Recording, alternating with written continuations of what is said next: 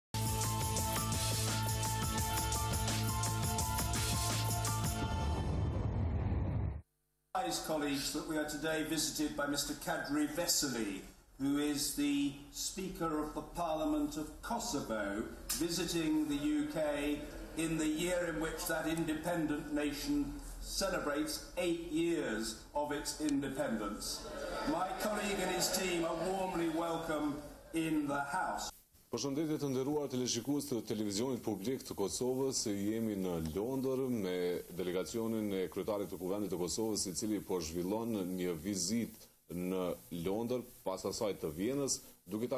duke takuar në fakt udhëheqësit më të lartë shtetërorë të Britanisë së Madhe. Zoti Veseli, faleminderit që pranuat të zhvillojmë një intervistë. Kryetar Veseli ju realizuat një sërë takimesh këtu në Londër me homologun tuaj britanik, ministrin për Evropë dhe pjesëtarë tjetër tjerë të rëndësishëm në fushën politike. Cila ishte rëndësia e këtyre takimeve, pra thekset kryesore që dolën nga takimet me zyrtarët e lartë të një vendi mik të madh të Kosovës siç është pra Britania e Madhe? Është konfirmim i mbështetjes të fuqishme që Britania e Madhe i jep Republikës së Kosovës në proceset e veta integruese, forcimin së sovranitetit, forcimin e shtetit ligjor,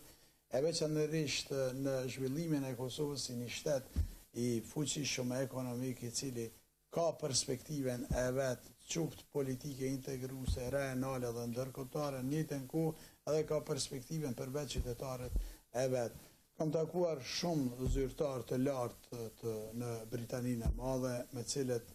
jam shumë falënderues për atë pritjen e ngrohtë, por në të njëjtën kohë edhe mbështetjen e fuqishme që ekziston në këto kancelari. Kini parasysh Britania e Madhe është një nga shtetet më me influencë Në botën tonë globale, është një mik i afërt i Kosovës. Njëjtën kohë do të theksoja në mënyrë të veçantë edhe disa takime të cilat kam pasur edhe me personalitete të shquara të Britanisë së Madhe, të cilat kanë pasur një kontribut historik në lirinë e Kosovës. Gjithë qëllimi i këtyre takimeve, pos kësaj pjese zyrtare, Do të veçoja edhe këtë pjesën me këto personalitete si Lordi Robertson, si Toni Bleri edhe shumë personalitete të tjera që vërtet kanë kontribuar në lirinë e Kosovës, është një qëllim të cilin unë mendoj se përmes këtyre njerëzve është mënyra më e lehtë që Kosova të promovohet Jo vetëm në Britaninë e Madhe, por në njëjtën kohë edhe në gjithë pjes sferën e proceseve të cilat janë integruese të Kosovës, pretendime integruese deri në Organizatën e Kombeve të Bashkuara, dhe në njëjtën kohë pse jo të mos themi se këta mund ta luajnë një rol të jashtëzakonshëm me vetë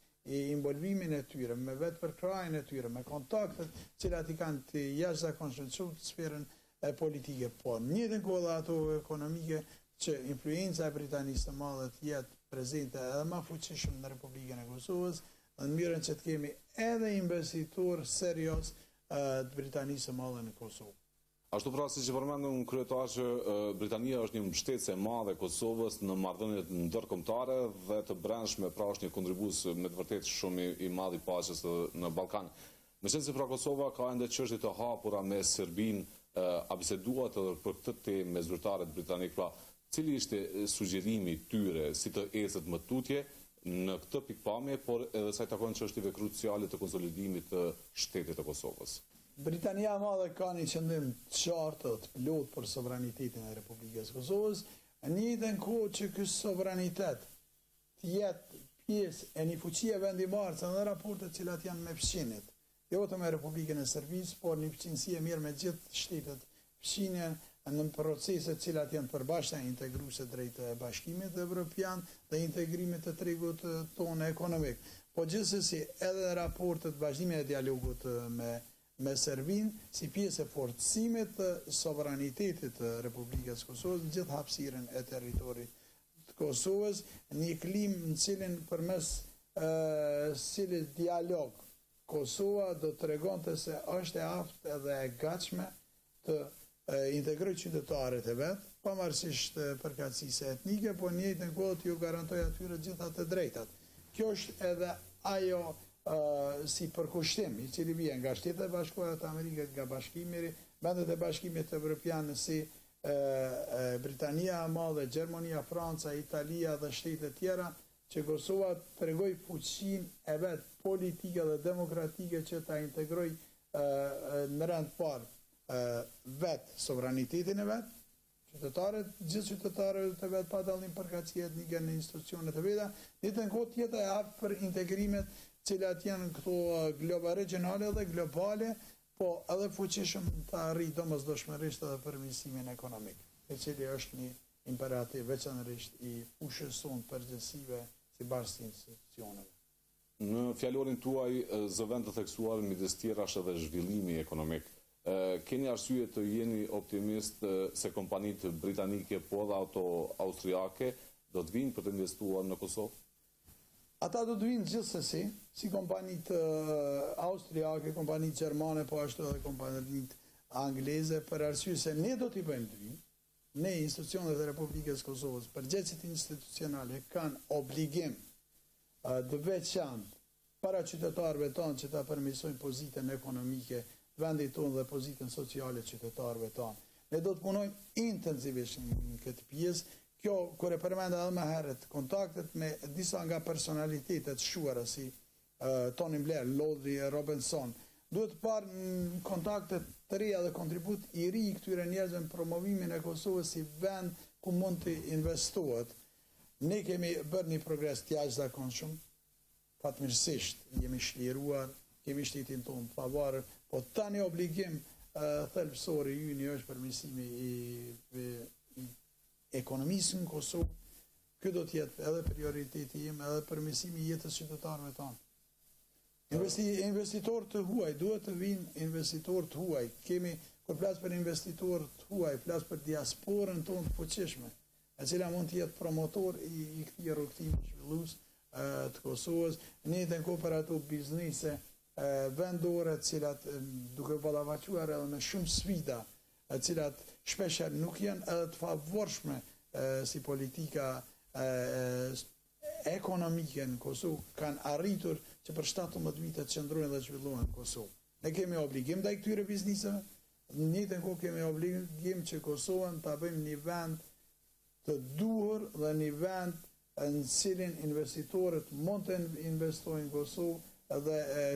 të rinia jonë të punësohet në njëjtën kohë edhe familjet tona të kenë një përmirësim të jetës së tyre. Kryetar në Britani jetojnë edhe shumë kosovarë, çfarë janë pritjet tuaja prej tyre? A pritni që ata një ditë do të vijnë për të investuar në Kosovë dhe të hapin vende të reja të punës që aq shumë ka nevojë Kosova? A po i bëni në fakt veprimet e duhura për të inkurajuar këta investitorë kosovarë që jetojnë dhe veprojnë në Londër? Do të bëjmë veprime në rend të parë në Kosovë për përmirësimin e imazhit të Kosovës, për përmirësimin e ambientit investues në Kosovë dhe në të njëjtën kohë për përmirësimin e mentalitetit të bartësve të institucioneve që ta kuptojnë se nuk janë ata mbretërit e përgjegjësive, po janë shërbys e vendit cilët kanë për obligim t'i krijojnë hapësirë investitorëve kur vijnë në Kosovë, qofshin investitorë vendorë apo ndërkombëtarë, që t'i shërbejnë ato deri në momentin e fundit që ata të mos zhgënjehen. Ne do të bëjmë çmos, do të përdorim të gjitha mundësitë dhe potencialet të cilat i kemi, unë personalisht do të jem njëqind për qind i orientuar në këtë fushë të veprimit tim, qoftë në si në përgjegjësinë time si kryetar i Kuvendit në pjesën legjislative, por në njëjtën kohë edhe si partner të koalicionit. Nuk kemi asgjë më të veçantë dhe më prioritare sot sesa zhvillimin ekonomik dhe punësimin e njerëzve. Në qoftë se dje ka qenë e shenjtë lufta për liri, Kontributi për atdheun sot është i shenjtë përmirësimi ekonomi i situatës ekonomike në Kosovë dhe përmirësimi i jetës së qytetarëve tanë. Punësimi i të rinjve. Po. Kryetar do doja një përgjigje veçmas për takimin që patët me ish kryeministrin Tony Blair politikan që politikan ky në fakt që në memorjen kosovare shihet si hero i madh çfarë biseduat konkretisht me të Po, ai është një njeri i veçantë, i cili ka një reputacion të jashtëzakonshëm jo vetëm në Kosovë, po edhe në Britaninë e Madhe, edhe në pjesën globale, në Shtetet e Bashkuara të Amerikës. Ai mund të luajë një rol të jashtëzakonshëm në qoftë se ne dimë mençurisht të shfrytëzojmë miq të tillë si Tony Blair, Lordin Robertson, Wesley Clark apo shumë e shumë njerëz të cilët kanë kontribuar në lirinë e Kosovës që këta t'i kemi promotor edhe zhvillimit ekonomik. Ne duhet të bëjmë çmos që mos t'i zhgënjejmë këta njerëz, t'i mbajmë afër vetes, në njëjtën kohë edhe të jenë këta njerëz të cilët kanë qenë avokatët e lirisë sonë, në njëjtën kohë të jenë avokatët edhe zhvillimit ekonomik. Kjo është ajo të cilën është edhe fokusi im dhe ajo të cilën do ta bëj çdo ditë, t'i mbajmë sa më afër njerëz të tillë, në mënyrën që duke qenë afër tyre do të përfiton vetë Kosova në promovimin e vet si shtet ligjor, si shtet demokratik dhe një shtet i cili ka perspektivë ekonomike. Dhe krejt në fund, zoti kryetar, ju e filluat këtë turne takimesh në Vjenë, jeni tani në Londër dhe do të vizitoni edhe Sofjen. Cilat janë tri qëllimet kryesore të këtyre vizitave? Intensifikimi i raporteve të Kosovës si shtet i pavarur dhe sovran me të gjithë partnerët tanë ndërkombëtarë, thënia e nevojës se sa është e nevojshme që Kosova të jetë i integruar në mekanizmat relevantë ndërkombëtarë, në organizata ndërkombëtare të cilat do t'i hapin perspektivë Kosovës do të ishte jo vetëm konsumues i lirisë, por në të njëjtën kohë edhe kontribues i paqes edhe lirisë dhe demokracisë. Anekënd rruzullit tokësor, edhe në të njëjtën kohë krijimi i miqve. Krijimi i miqve të cilët do ta promovojnë Kosovën si një veç një shtet stabil, një shtet demokratik ku funksionon ligji, edhe një shtet ku ka mundësi që ekonomia zhvillohet jo vetëm në Kosovë, por në njëjtën kohë të jetë kontribuese edhe për vendet përkatëse me të cilat ne kontaktojmë për arsye se benefitet janë të anasjellta. Do të vazhdoj të gjitha këto takime me me zyrtarë të lartë, kam filluar në Vienë, kemi pasur një forum të shkëlqyshëm ekonomik, kanë marrur pjesë